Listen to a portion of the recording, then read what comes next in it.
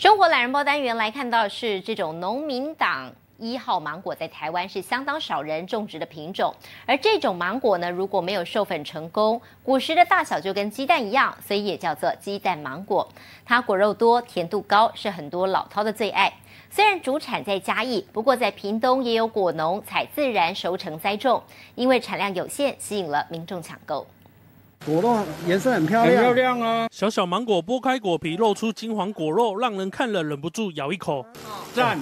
一口咬下，芒果香气四溢，民众竖起大拇指。小小外形差不多就跟鸡蛋一样大，够香的，够甜。原来这种芒果称作鸡蛋芒果，它是农民党一号芒果没有授粉成功的果实，是在民国七十年由农民党主席张明显混种培育而成。不仅种子小，果肉多，甜度高，还有细腻的口感。虽然主要种植在嘉义地区，如今在屏东也有果农采自然栽种，自产自销。它比较特殊的，不用套袋。哦，不用套袋会不会担心怎么样啊？是果蝇，果蝇我们用就一些有机方法处理。鸡蛋芒果产季约在每年四至八月，产量有限，可遇不可求，市价大约一百二十元一斤，是内行人才知道的品种。越小越好吃啊，中珠最好销的，最好最好销的。嗯，现在正值产季，已经吸引老饕抢购，想要品尝的民众手脚可要，快一点。记者苏世伟屏东采访报道。